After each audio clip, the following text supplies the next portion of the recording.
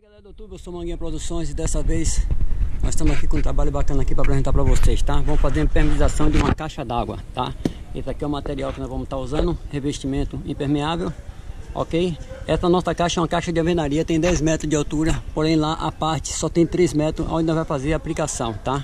Eu vou explicar para você aqui passo a passo, entendeu? O conteúdo desse trabalho, ok? Daqui a pouco já vou abrir aqui, já vou fazer a mistura do material, tá? Mas antes eu vou subir lá na caixa lá e vou passar para vocês direitinho qual é o primeiro passo que nós vamos ter que fazer. Beleza?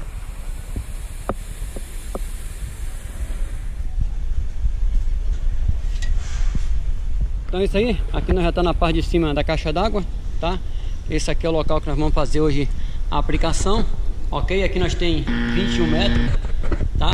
Ok? Aqui nós já estamos com o nosso equipamento de segurança, né? Que é o cinto, nós estamos na altura aqui bastante elevada, ok?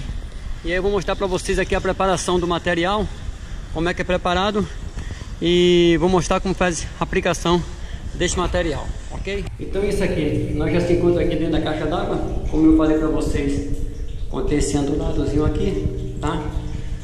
E qual o primeiro passo? Então nós vamos pegar uma mangueira aqui com jato, lavar toda ela, beleza? Com sabão neutro e depois fazer a aplicação produto. Aqui nós vamos abrir aqui o nosso produto, tá? Só lembrando vocês o seguinte, ó, aqui tá a especificação aqui do lado, ok?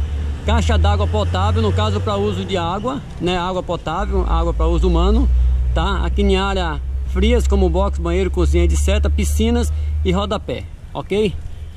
A preparação é o seguinte. Aqui vem um recipiente aqui, ó, um copinho que no caso que você usar pouco, você faz o seguinte, você usa dois copinhos tá, do produto, ok? E um copinho de água. No caso para você usar todo recipiente que está aqui de 12 kg, você vai usar 4 litros de água, beleza? Você vai colocar em uma vasilha, no meu caso aqui eu vou bater com batedor para facilitar mais, ok? Mas você pode fazer a mistura né, no que você tiver por aí, beleza? Então vamos lá. Aqui estamos usando um litro e meio de água, mais meio, 2 litros de água. Isso para os 12 quilos, ok? Caso você queira usar pouca quantidade, é aquilo ali.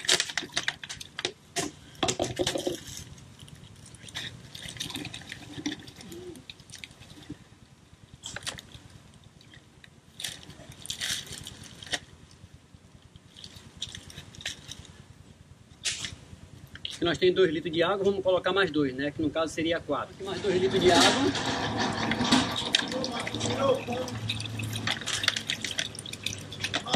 o restante do produto.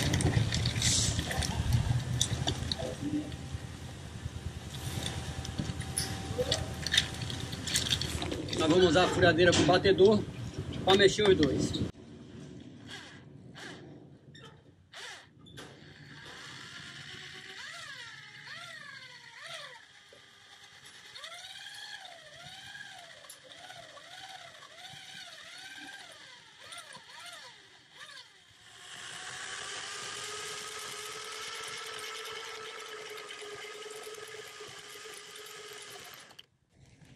Então aqui agora vamos esperar 10 minutos, tá? Depois de 10 minutos vamos começar a fazer a aplicação.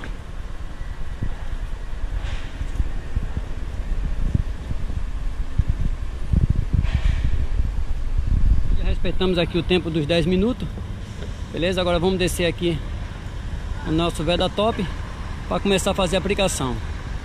Tamo aí.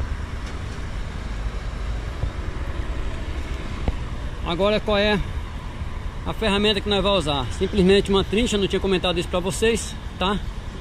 Tá aqui a trincha que nós vai estar tá usando e não tem nenhuma dificuldade para você fazer a aplicação, ok?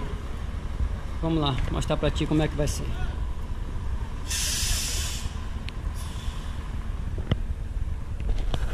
Ó, esse aqui é o processo. No caso aqui você vai dar a primeira demão tá? Desse jeitinho aqui. Depois vai esperar 4 horas, segundo o que eles recomendam, para dar a segunda, a terceira e a quarta demão, ok? Esse é o processo aqui de aplicação do Vedatop. Continue acompanhando com a gente. Então é isso aí. Aqui eu vou mostrar para vocês aqui o processo aqui, o andamento do serviço, tá? Ó, essa aqui já foi aplicada aqui, no caso 3 lemões, ok? Eu vou aplicar mais 3 lemões, por quê?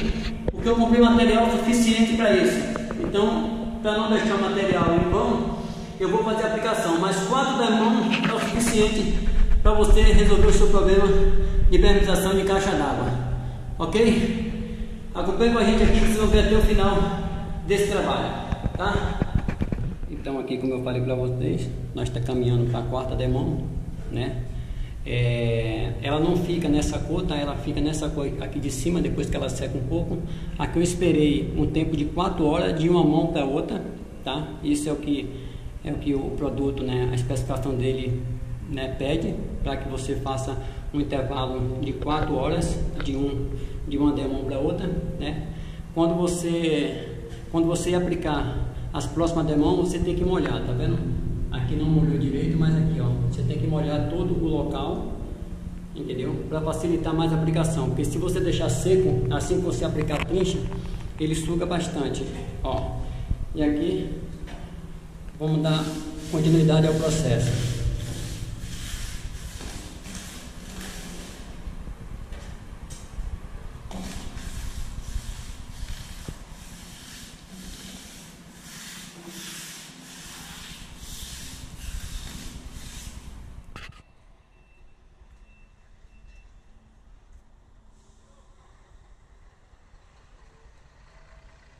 Aí, aqui estamos a gente de volta para a gente finalizar o nosso serviço, tá? Eu vou mostrar para vocês como é que ficou aqui, ó, a nossa caixa, ó. Ela agora já está sequinha, tá? Nós aguardamos um prazo de 7 dias, segundo eles pedem 5 dias. E o que vai acontecer agora, antes de nós encher ela de água, tá? Nós vamos lavar toda a caixa d'água, ok? Nós estamos aqui com sabão neutro, tá? Compramos aqui uma vassoura nova. E aí vamos lavar toda a caixa d'água. Depois que lavar ela, tá? Aí nós vamos encher, ok? E aí nós vamos dar é, a finalização do nosso trabalho, ok? Continue acompanhando com a gente até o final.